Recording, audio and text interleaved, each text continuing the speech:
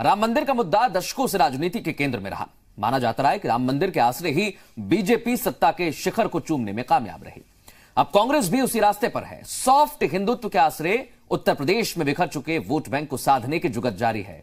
कांग्रेस की मंदिर परिक्रमा पहले राहुल गांधी शिव भक्त के रूप में नज़र आए और अब संगम नगरी, प्रयाग से काशी और विंध्याचल का सफ़र तय कर चुकी प्रियंका गांधी अयोध्या अध्याय में अपना नाम दर्ज कराने पहुँची हैं। आपको ये बता दें, रणनीति यही है कि कांग्रेस की जीत की ज़मीन तैयार हो, लेकिन राम मंदिर विवाद की छीटें कांग्रेस के दामन पर ना आए।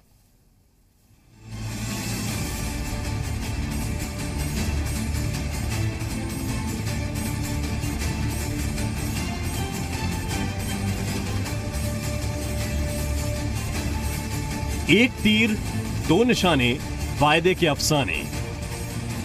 कांग्रेस की कदमताल कुछ इसी कहावत के इर्द गिर्द थाप ले रही है।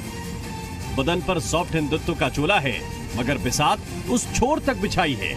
यानी रामनगरी तो जाएँगे मगर मंदिर पर मौन हो जाएँगे। Thank you thank you very much for coming here and thank you for thank you for all your support that you are constantly giving us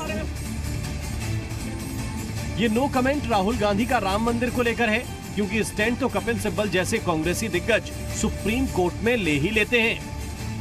मंदिर पर फैसला ना आए, ज़ोर इसके लिए लगाते हैं। मगर जो रंग न बदले, वो राजनीति कैसी? अब प्रियंका का ये अवतार भी देखिए।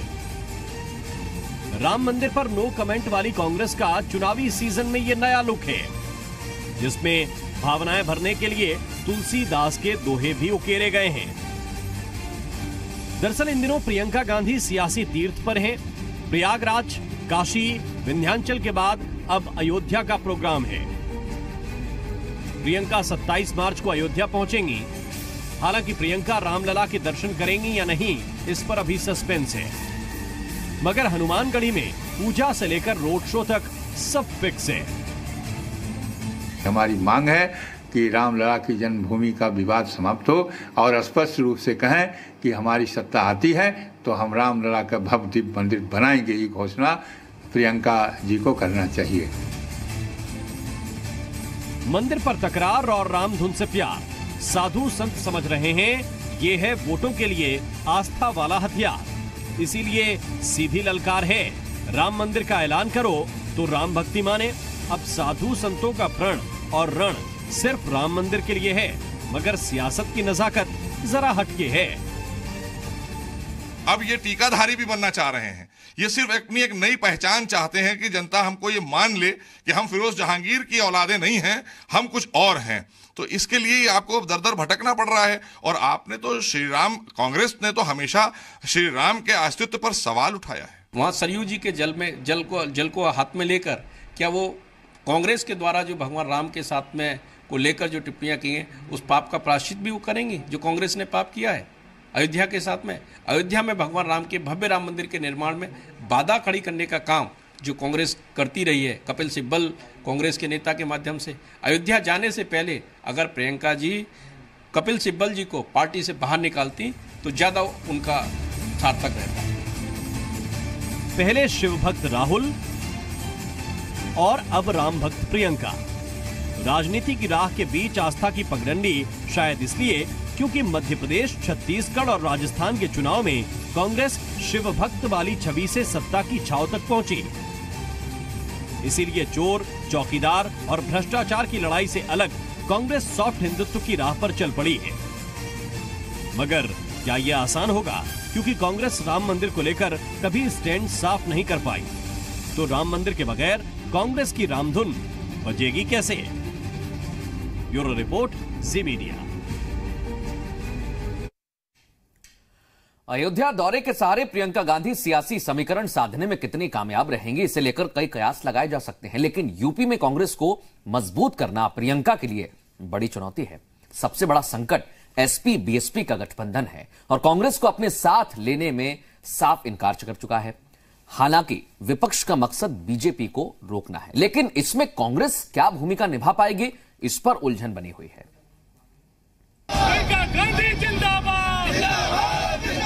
दिल्ली की गद्दी का रास्ता यूपी से होकर ही जाता है।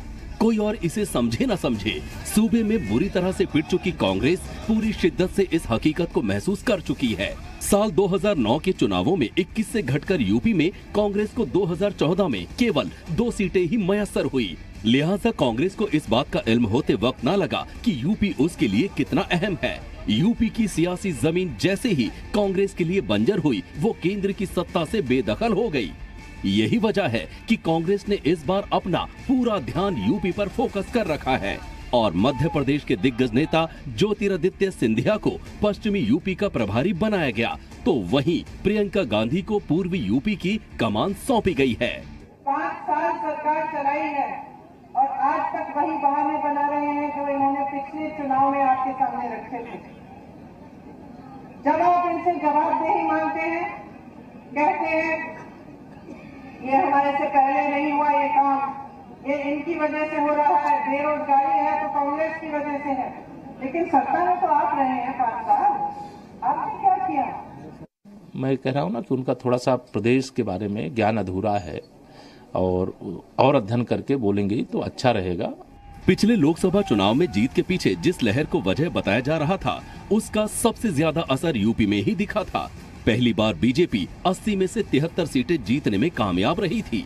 लेकिन यूपी से ही इस लहर को झटका भी लगा, जब उपचुनाव में एसपी, बीएसपी, आरएलडी ने मिलकर बीजेपी को पटकनी दे दी। यहीं से विपक्ष को महागठबंधन की नई राह भी सूझी। कांग्रेस अंतिम समय तक इस गठबंधन का हिस्सा बनने की कोशिशों में जुटी रही। उसकी चाहत 80 में से 18-20 सीटों की थी, लेकिन बात नहीं बनी। खास तौर से मायावती कांग्रेस को गठबंधन से दूर रखना चाहती थी।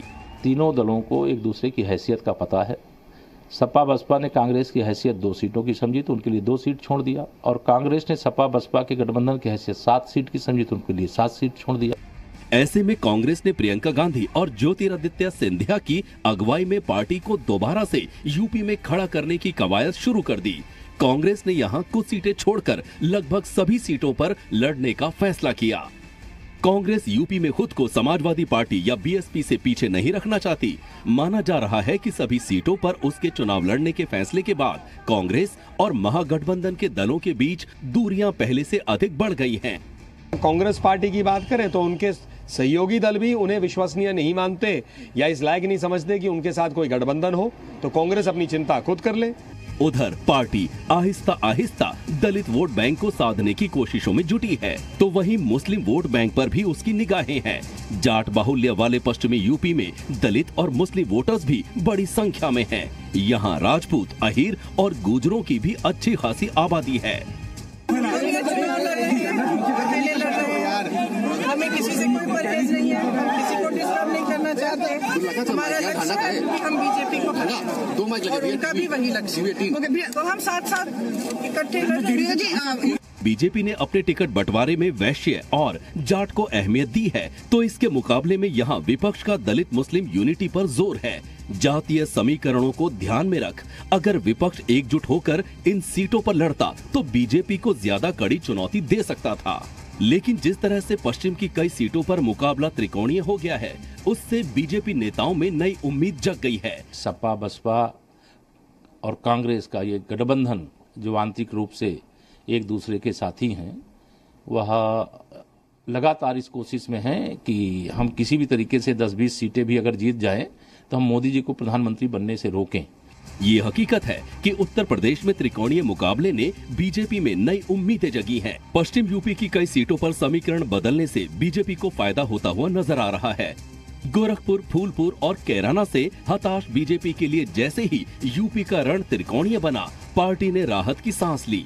लेकिन कांग्रेस के सामने चुनौती महज यूपी से सीटें जीतने की नहीं है। पार्टी को मालूम है कि जब तक यहाँ के शत्रप मैदान में डटे रहेंगे, वो कमज़ोर पड़ी रहेगी। ऐसे में इस बार के मुकाबले को कांग्रेस अपने संगठन को मज़बूत करने के लिए भी इस्तेमाल करेगी। हो सकता है इस बार इसका फ़ायदा ना दिखे, लेकिन माना जा रहा है कि कांग्रेस की ये कोशिश विधानसभा चुनावों में ज़रूर रंग लाएगी। Bureau report, Zee Media.